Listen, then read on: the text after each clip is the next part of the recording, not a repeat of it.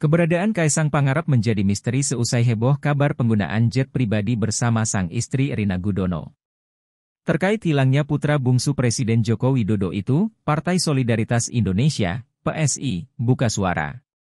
Sekretaris Jenderal, Sekjen, PSI, Raja Juli Antoni dikonfirmasi pada Selasa, 3 September 2024, memberikan keterangan. Dikutip dari Kompas.com, Raja Juli menyebut, Kaisang berada di Jakarta sejak 28.8.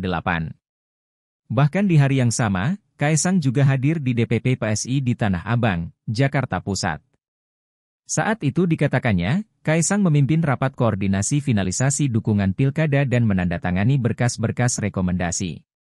Menurut Raja, suami Rina ini juga sudah rutin berkantor di DPP PSI. Bahkan, kata dia, Hampir setiap hari setelah tanggal 28.8, Kaisang selalu berkantor di DPP PSI. Diakui Raja, bila tak ada kepentingan, dirinya selalu bertemu dengan Kaisang. Pertemuan keduanya untuk berdiskusi tentang persiapan Pilkada 2024. Diketahui, keberadaan Kaisang sempat menjadi sorotan karena tidak diketahui usai dirinya dibidik KPK terkait dugaan gratifikasi.